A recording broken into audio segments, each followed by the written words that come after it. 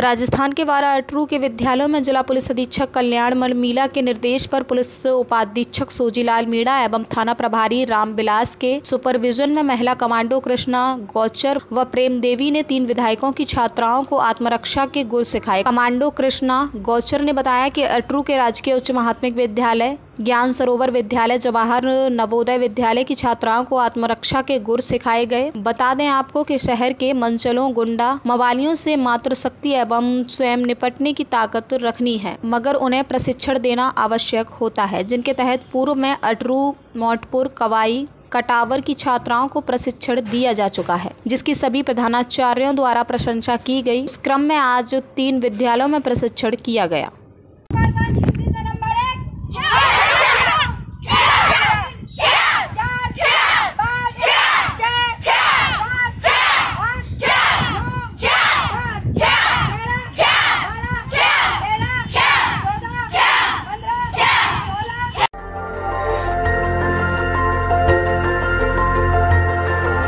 देखते रहिए डीबी भारती समाचार नज़र हर खबर पर।